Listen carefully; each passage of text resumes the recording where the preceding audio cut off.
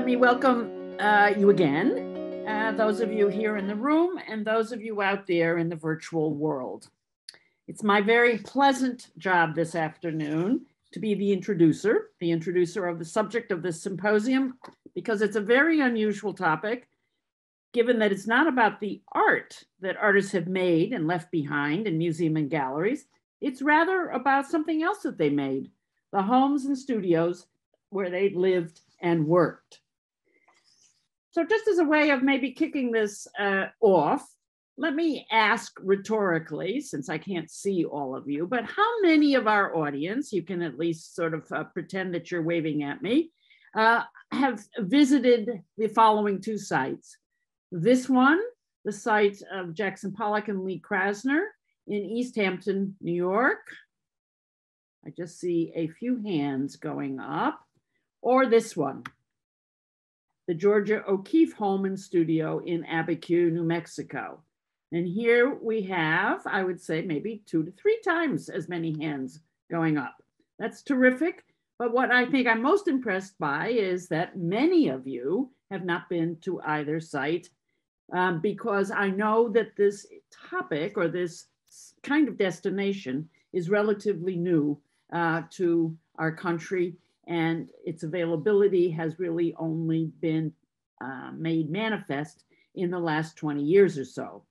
In fact, it's really only in the last quarter of a century that this country's begun to preserve and open and learn from artist domiciles.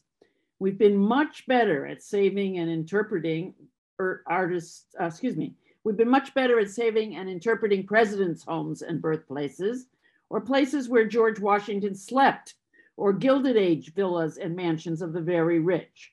Better at that than the places that creative artists have put together.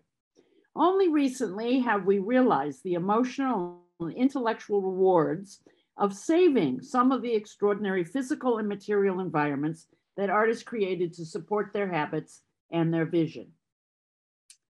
This symposium, symposium will introduce you to you a wide variety of sites, some well preserved that you can visit, some that alas have been lost, and some looking for fairy godmothers and godfathers to keep them intact.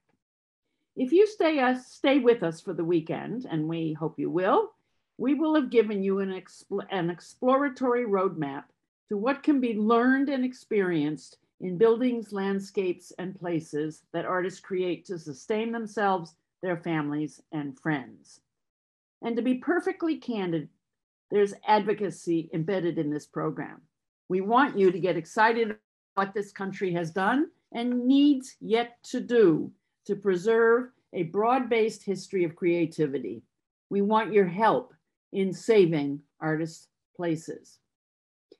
In my few minutes here, I want to give you a touch of autobiography and then tell you a little bit about the formation of HAS, Historic Artists Homes and Studios, that is a co-sponsor of this symposium. My remarks will be followed by a deeper exploration of HAS by Valerie Balint, and then we will turn to Joni Kinsey's paper on Grant Wood's two monumental domestic creations, the two that you just heard referred to uh, by Mara, his loft in Cedar Rapids and his mid 19th century historic home in Iowa City. I am something of a junkie on artist homes, and I try to visit at least two new sites every year. I began this in the late 1970s when I was a newly minted PhD art historian undertaking a self-generation, self-generated research project, The Life and Art of Grant Wood. In noodling around Iowa to find and talk with people who had known the artist, they invariably brought up Wood's offbeat homes and encouraged me to see them. Both were being lived in, but I found ways to visit them. Uh, uh, and you're going to be hearing much more about them tonight from Joni Kinsey, and then uh, about one of them, the Cedar Rapids uh, studio, uh, Sunday from Sean Ulmer. So I'm going to say little about them now. Other than this, those sites, once I got into each of them, and I did in this first summer that I was spending in Iowa, became an archive for me. They taught me things about the particular intelligence and talents of this artist that I would not otherwise have easily, if ever, uncovered. None of my art tr- history training had taught me to probe the physical sites of an artist's life, what we in the academy like to call the material culture that an artist has left behind, to probe it and use it as a way of then explaining better his art. And it's become since then one of my mantras as a teacher, which is to tell my students when they're working on an artist, uh, if they're doing particularly a monographic study on an artist, make sure you go to the site of the crime. By which I mean go to the site of where something happened, where they lived or where they worked. Wood's attention to detail, his keen sense of design, his humor, his metalwork in the Cedar Rapids loft styled space helped me to see the same elements in American Gothic, which is a painting he made in this very space. I learned, for instance, that he had a builder's intelligence and knew something about architectural styles. No wonder that a little carpenter Gothic farmhouse with its oversized window called out to him in Eldon, Iowa.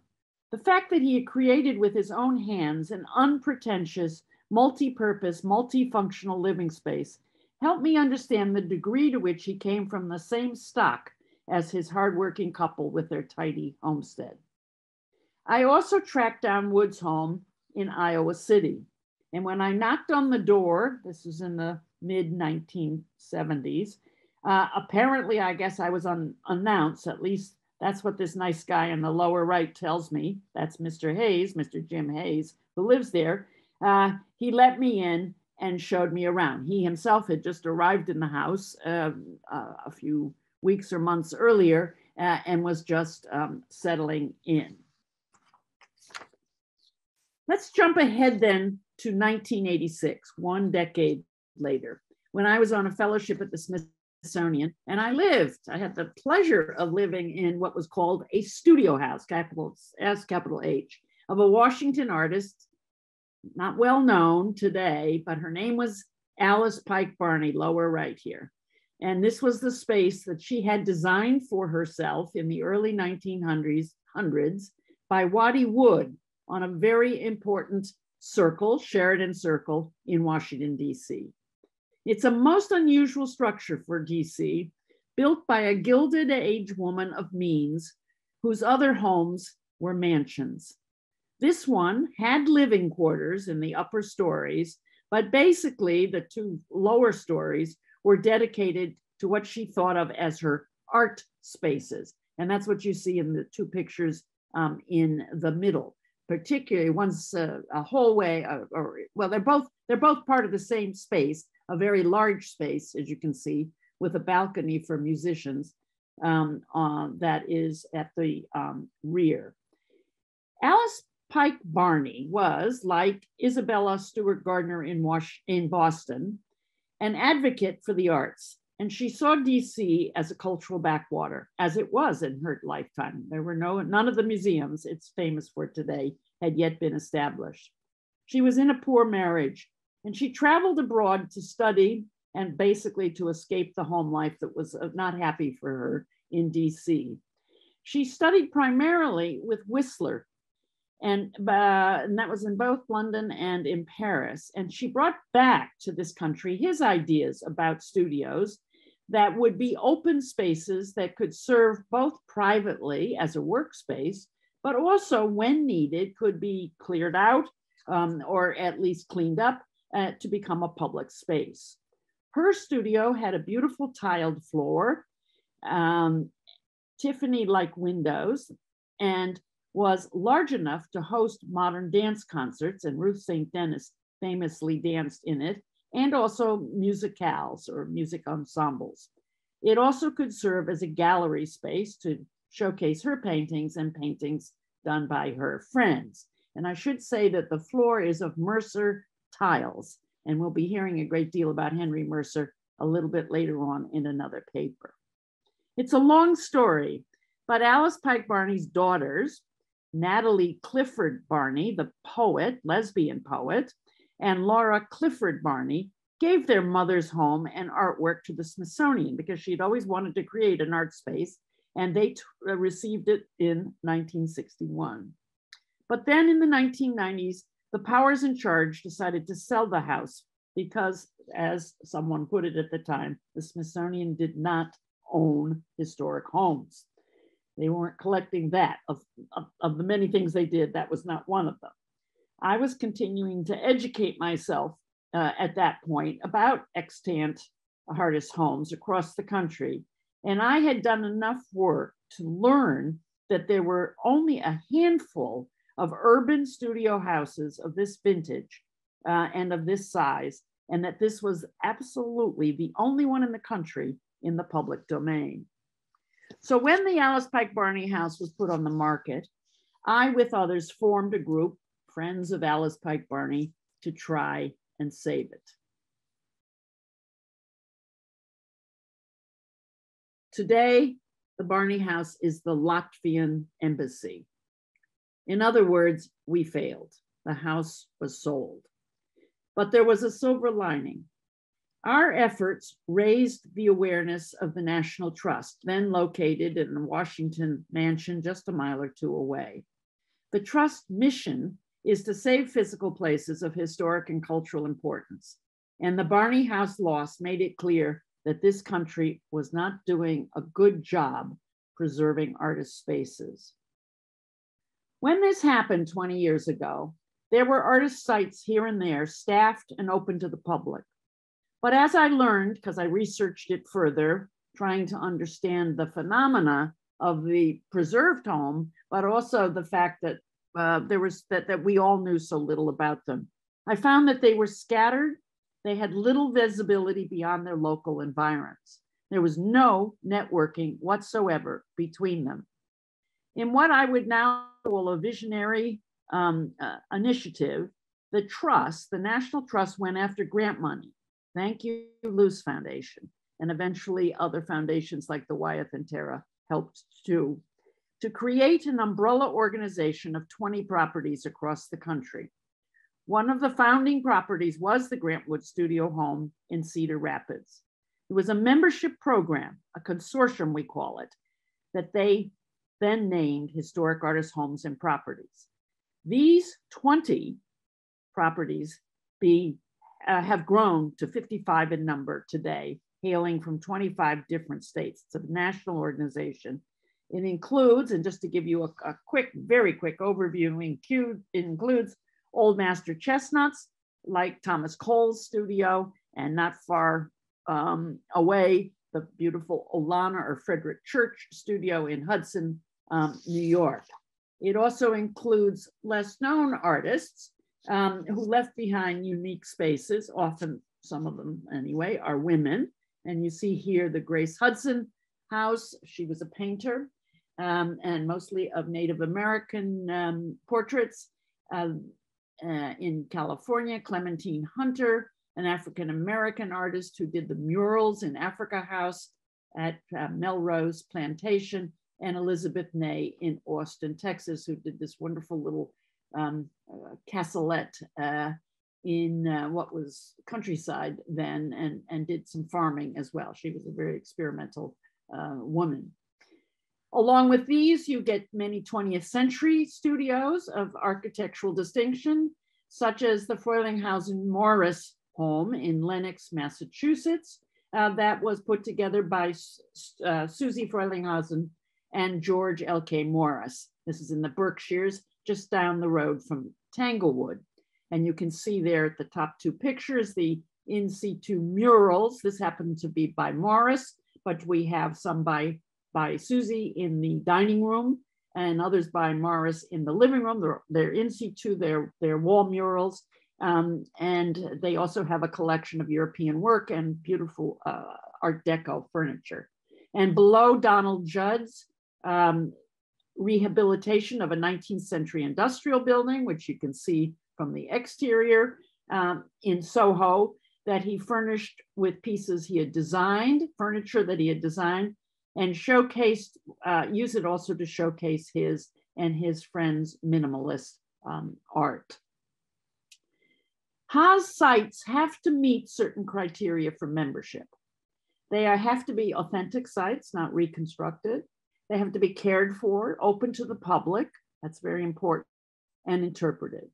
Their ownership and administration, however, we have no rules about because it could not be more varied. Some are run by foundations, some by grassroots organizations, some are state or city properties, others belong to art schools, universities, and museums. Two are national parks, St. Gaudens and Weir Farm, and one, Chesterwood, like the home of Daniel Chester French, is owned by the National Trust. And Chesterwood, by the way, is where the head office of Haas uh, is nicely located. Some are completely furnished, some are bare bones. Some have lots of art, like the two examples that you're looking at now, some little to none. However, what they have is site and place. Haas organizes a members workshop every three years and promotes the sites collectively on an impressive website and in their newsletters. And I encourage you to check that out. Very easy to find. Just put in artist homes and studios and it'll pop right back up. Um, um, I think perhaps I can say the grandest, uh, the, the grandest achievement that Haas has made over the last 20 years is to make the preservation of artists' homes and environments nationally visible. Before I hand over the podium to the woman who manages the consortium, I want to make a last observation. Visiting an artist's home is a very different experience than going to a museum. There are far more va variables to the experience. For starters, visits usually require some planning because most artists don't live on USA uh, main streets. So getting to where they settled becomes part of the experience. And once you've arrived, it becomes an immersive experience in a new place. You move through an unusual space, usually with all your senses at work seeing, smelling, hearing, and feeling the foreign terrain underfoot. You look in and out of the windows, taking in the nature of living spaces that most likely are different and foreign to your own. The experience may be highly curated by staff or having been highly curated by the artist before them, but often it is not. Many artist places encourage roaming and unstructured imagining as to what it would be like to live there and enjoying the creative soul who's constructed the space. Let me give you a couple of concrete examples of the strange and wonderful experiences that Haas sites afford. For example, getting to Abiquiu, New Mexico to see Georgia O'Keeffe's home and studio requires a major road trip. There are no trains, buses, airplanes that can get you to Abiquiu. Furthermore, you need a reservation, I might add, if you uh, are going to go, make sure that you call with plenty of time ahead of time to get your slot because they take very small groups on very special days. You have to drive 60 miles northwest of Santa Fe, and that's downtown Santa Fe in the upper right. You have to leave the bustle of the city, drive past the malls and strip culture of gas stations and fast food, get past Espanola and begin. And there's my map. Our site is uh, the circled Abiquiu. Um, I can see that Santa Fe's been uh, hasn't been circled, but it's down there in the in the middle of the the bottom uh, part of the map. Anyway, you have to you have to get out of Santa Fe, past Espanola, the last big city you go go by, um, or significant city, and begin to enter then into a landscape like the two pictures below show you that is untouched and lightly inhabited. You may even feel a little hallucinatory as you drive into this world that the locals, including the native and Hispanic cultures that have lived here for centuries, call home, but is spectacularly foreign to those of us who live in cities and suburbs elsewhere. The journey from Santa Fe to Abiquiu um, is it, it reiterates the very one the artist took uh, she went from city, New York, in, in fact. Um, but even once she went from New York to New Mexico, she had to find uh, this particular space. And she did it by moving further and further away from civilized centers such as Santa Fe and also um, Taos. So you, in fact, you kind of reiterate the way um, the artist left the hustle and bustle of um, an organized town uh, to get out uh, into the open spaces. And that's an important part of the experience, just getting there. It tells you how determined she was to live in this dry and lunar landscape of her own choosing and to carve out an alternate life from the one she lived in a New York high rise. You experience, in other words, something of her willfulness and independence, just getting to the beautiful home she made in the village of Abiquiu. Second example. Sometimes the journey to and from are, is not the memorable part, but just negotiating the site. Flat shoes with rubber soles are recommended footwear when visiting Manitoga, the home and grounds that Russel Wright, the mid-century designer uh, of dishware and furniture, built over a number of years. Wright acquired 75 acres of untouched boulders, waterways, and woodlands just off the main road in Garrison, New York on the Hudson River. His was something of a manic project, the creation of a completely orchestrated world that today is presented as if Wright has just left momentarily, perhaps for a day of business in Manhattan. The tables are set, the beds made, the waterfalls are gurgling, the trees changing colors, the paths slippery with moss. Here's a modernist who wanted his lived environment to be simple and functional, but also a perfected multisensory miracle on the Hudson. He was a 20th century idealist creating a domestic campus for himself, his family, and his friends, impossible to replicate today. It's a unique, utopian, very modern, visionary space. One final example to underline the depth and variety in artist sites. In this case, a city home that is relatively easy to get to in South San Francisco, if one knows it's even there amongst the taverna and burrito shops and other Victorian homes like it is itself. The house is there on the left. It sits in a landscape in the Mission District of noisy streets um, and ordinary work, working and middle class homes. This is David Ireland's project called 500 Capp Street. In the Mission District, a crowded, ethnically um, mixed region of the city. Ireland is a conceptual art, was a conceptual artist. He bought the house at 500 Capp to live in and proceeded to do so.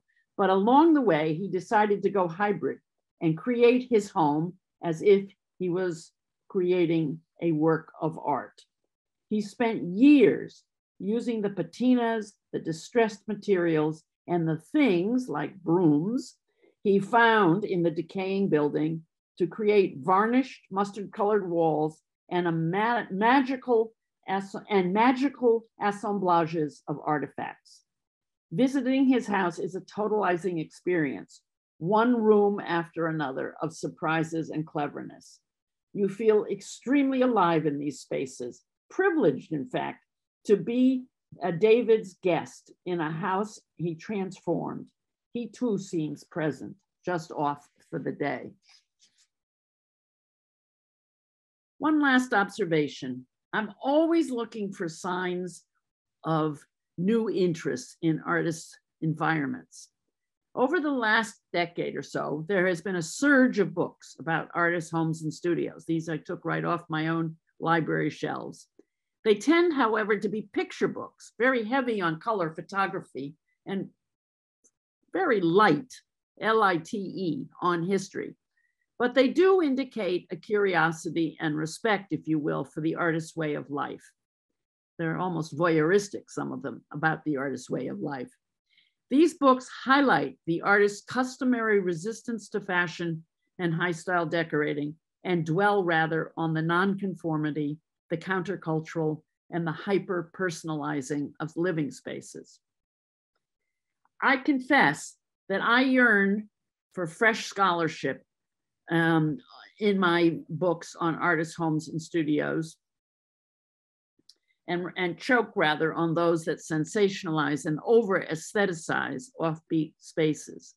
My preference is for a book like this one, written by our next speaker, Valerie Balint, the first guide to Haas properties. Valerie's account uses straightforward documentary photographs of each site, accompanied by introductory historical texts. She gives us a fact driven armchair journey across the country to visit these unique places, creating a hunger to get in your car and go see them for yourself. And I, um, I would recommend this book to you, which is easy to uh, find at almost any of the artist sites sell them, but you can also find it at, all, at your um, usual uh, depositories uh, for uh, book sales. Valerie is the senior program, program manager of Haas. Before taking on this lead position, she worked at many different artist sites, including 17 years on the curatorial staff of Olana, the home of the Hudson River School painter Frederic Church. Her Haas office is, I said earlier, at Chesterwood, the home and studio of the 19th century sculptor Daniel Chester French, whose studio you're seeing right there gracing the cover of her book. It's a National Trust property in Stockbridge, Massachusetts. I'm now going to um, have uh, Valerie step up to the podium and bring the story of Haas that I've introduced to you here into the 21st century. She's titled her talk, Yesterday and Tomorrow, Reframing the Historic Artists' Homes and Studios Program.